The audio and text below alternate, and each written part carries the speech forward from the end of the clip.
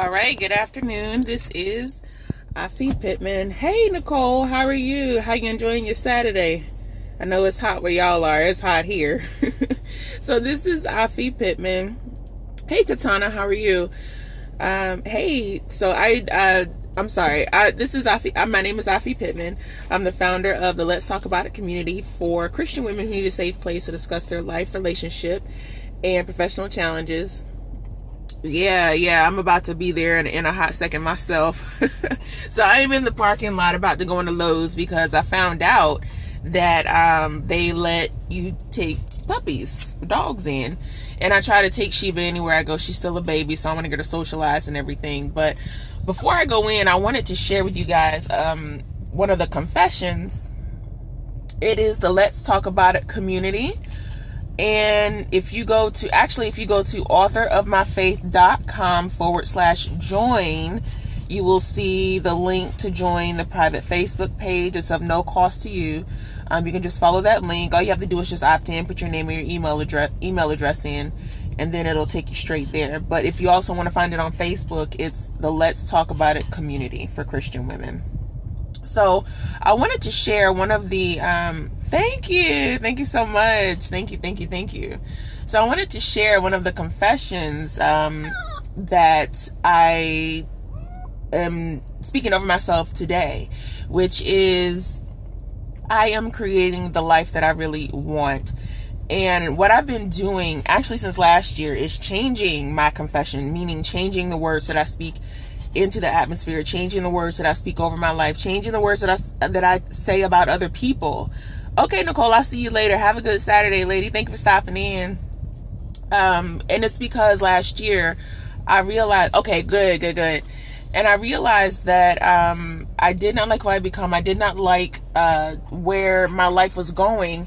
And part of it was because of what I was speaking over my life. So the confession that came to mind today was I am creating the life that I want. And where I got that from is a friend of mine and I were talking a few years ago and she said, you know, Afi, you, you can't always just focus on the destination. I mean, you can't always make a mad dash to the destination. Sometimes you have to really just focus on the journey to where you are going because most of your life you're going to spend en route to the destination. So if you just have all of these, um, these destinations in life and you know, all you're focused on is just getting to the destination. You're not really enjoying life as you get there. You're not really paying attention to the lessons along the way. You're going to miss out on a lot. And what this confession will do is two things. Number one, it will help you see that life is not just all about the destination. It's about the journey. It's about the people that you meet en route to the destination. It's about people you meet at the destination. It's about the people you meet going, you know, leaving the destination, going to the next one. It's about focusing on life right here, right now. Um, life as it is, not just where you want it to be right? So, and then the second thing that it will do is it will help you understand that life is not all or nothing. Life is not, oh, well, you know, I made it or I didn't. It's I failed or I didn't. A lot of life is both. A lot of life is gray. Most of life is not just black and white. I mean, there are some principles that the Lord gives us that we are supposed to abide by that it really is black and white. But there's so many different things. Like, for instance, we as people, we're both evil and good. we're both evil and good. We strive to be good. We strive to be Christ like. We strive, um, you know, for the perfection that Jesus Christ wants us to attain because he was perfect, right? But he paid the price on the cross because he knows that we can't attain that perfection. He knows that we're going to fail even in our striving, right? So we are both, we're both good and bad. We're both evil and good. We're just so many things in between black and white. We're just so many different shades of gray. Life is so many different shades of gray. So this confession will help you to realize that life is not all or nothing. It's not just hit or miss. I mean, yeah, it is hit or miss, but it's not just that, right? So, and I and I do want to say too, and actually the third thing that this will help you do is to is to is to stay focused and to and thank you so much for the hearts and it's to help you stay focused when life is just all over the place. It's to help you not be so emotional, so up and down when life is so up and down. Because I know that I will go there. I know I will go there in a quick second. I will go left, right, up and down wherever life goes, whenever life goes that way. But one of the things that the Lord had to teach me was how to not be so up and down, how to not be so emotional, how to not be so down in the dumps just because things are not going exactly the way that I envisioned in my mind. A lot of times, God will teach you something or teach you great things in the middle of not getting what you want or not having what you envisioned or purposed originally in your mind. So, again, today, thank you so much, K Pope. So, uh, you know, again, the, the confession for today is I am creating the life that I want. Hey, Note Dog, how are you? I am creating the life that I want. That is today's confession.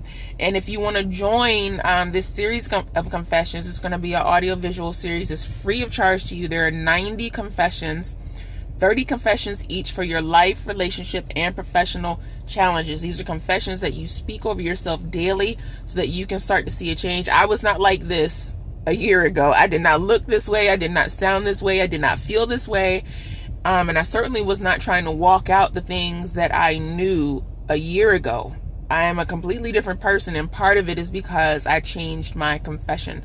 So I'm sharing with you in this 90 day series all of the confessions that I am currently speaking over myself to take that part of my life to a different level, but also some of the things that I learned since last year.